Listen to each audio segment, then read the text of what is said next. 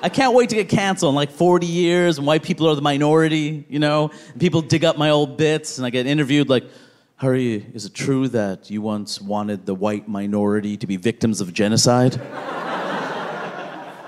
I, I mean, you gotta understand, like, it was a different time back then.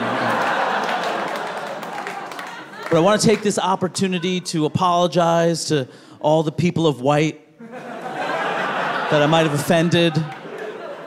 I want to apologize to the people of white in my life my maid, my gardener, my indentured servant.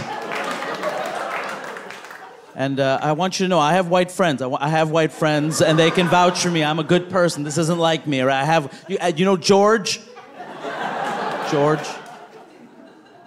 John? Ringo? Paul? Harry? Liam? Adele. There- there- There's so many. There's so many that I have. I'd also like to take this opportunity to apologize to white civil rights leader Tucker Carlson for the terrible things I've said about him.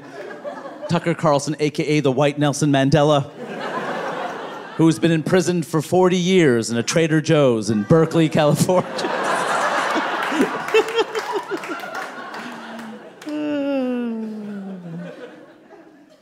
Maybe I'm being unfair to Tucker Carlson.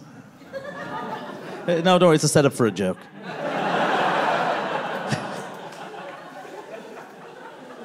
because as a parent, I think about how every choice I make has some impact on my kid, right?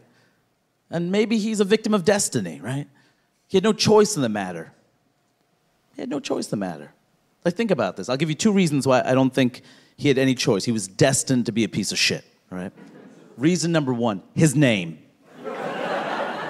Full name is Tucker McNear Swanson Carlson.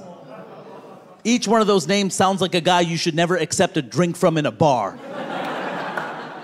Second reason why I think he was destined to be a piece of shit where did he grow up? San Diego. I rest my case.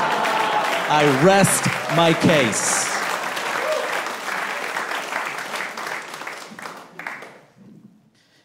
Having a child during a global pandemic is like boarding the Titanic after it hit the iceberg. Oh, come on, though. That's right. Like, like, you know, like, you know, you get there, you're like, oh, I can't believe the tickets are so cheap. You know? Why are they making a sport in the middle of the Atlantic Ocean? You know? Then you get on the boat and you're like, oh my God, we're sinking? Oh, Groupon, you fuck me again.